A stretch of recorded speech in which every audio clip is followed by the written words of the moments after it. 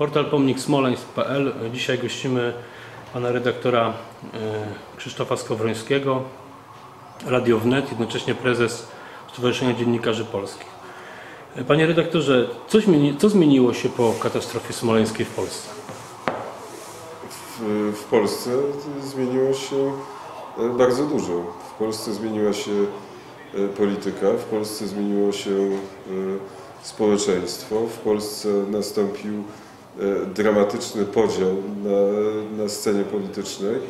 E, Polska po katastrofie smoleńskiej, mam wrażenie, nie potrafi się odnaleźć. A co zmieniło się w mediach? Podzieliły się, tak jak cała Polska. Podzieliły się na, tych, na te media, które zadają pytanie i uważają, że to jest e, najpoważniejszy temat, jeśli chodzi o dziennikarstwo i o sprawy polskie, i na tych, którzy e, tych pytań e, nie zadają i śmieją się z tych, którzy te pytania zadają.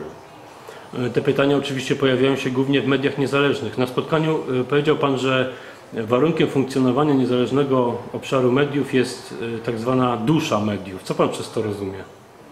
Media muszą mieć duszę, to są Pana słowa. E, Tak, dlatego że e, e, dziennikarz musi e, posiadać, znaczy dusza mediów to jest coś, coś e, dużo więcej, tak? bo dusza należy do e, zbiorowości. Media z duszą to są te media, w której jakaś grupa ludzi ma cel i ten cel im przyświeca i tym celem dla dziennikarza jest e, poznanie prawdy. I wtedy w, w takim dzie- dziennikarskim świecie, w dziennikarskim zespole e, jest dodatkowa energia, która pozwala na to, żeby e, na przykład spać dwie godziny dziennie, bo czasami informacja wymaga od nas wielkiego poświęcenia, wielkiej adrenaliny, bezsenności i, i e, takiego wielkiego wyścigu. Informacja to, są, to, to jest wyścig, tak? Jak prowadziłem kiedyś śledztwo dziennikarskie, no to wiedziałem o tym, że jeżeli ja nie będę pierwszy, nie ścigałem się z dziennikarzami, tylko tymi, którzy chcieli zamknąć mi bramy do informacji. Tak? Jeżeli ja nie będę przed nimi, to nie dostanę żadnej informacji. I udawało mi się wyprzedzać peleton o, e, przez trzy dni, przez cztery dni, a potem nagle któregoś dnia nastąpiło pam i zamknięcie wszystkiego. I to wymaga bezsenności, a poza tym dużego myślenia, ale to też wymaga właśnie, człowiek musi mieć kogoś, do kogo może mówić, tak? I z kim może rozmawiać, bo żeby nie popaść, e, e, nie wiem, w, w, no, żeby nie wejść w ślepą uliczkę, tak? A poza tym warunki bezpieczeństwa muszą być zachowane. E, Przedtem działał Pan w mediach e, takich powiedzmy publicznych, e, później zaczął Pan tworzyć, współtworzyć Radio Wnet. Jakie Pan ma doświadczenia z tego okresu? Chodzi głównie o doświadczenia z internetem. Z internetem.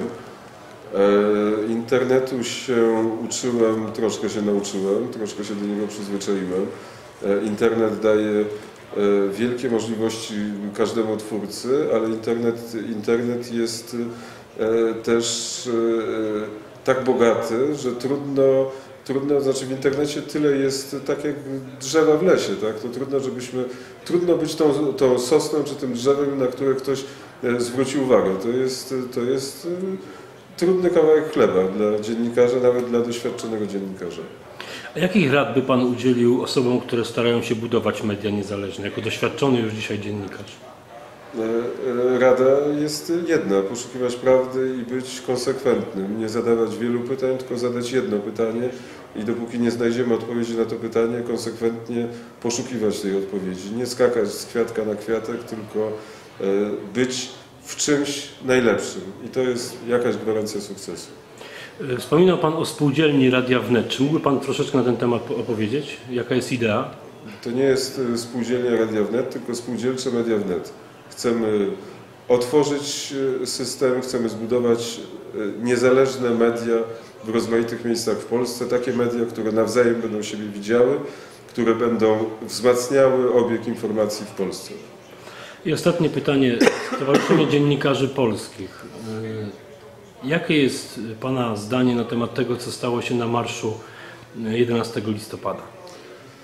E, Stowarzyszenie Dziennikarzy Polskich, e, ale to jest właśnie, to jest siła internetu, to jest to, że człowiek nie patrzy się Panu w oczy, tylko patrzy się w kamerę i ta kamera jest taka mała i nie wiadomo do czego ona służy e, i, i w ogóle nie wiadomo jak się przed nią zachować. To jest dziwny świat, w którym cały czas jesteśmy pod obstrzałem kamery, to nas w ogóle e, zmienia. To zmienia nasz sposób zachowania, nasz, może wszystko zmienić w społeczeństwie. Ta mała kamera i ten internet, który e, z jednej strony jest potęgą, bo e, służy e, poznawaniu prawdy, a z drugiej strony jest potęgą, bo może służyć złemu i tego się czasami boję, patrząc e, na tak jak zahipnotyzowany w tą kamerę.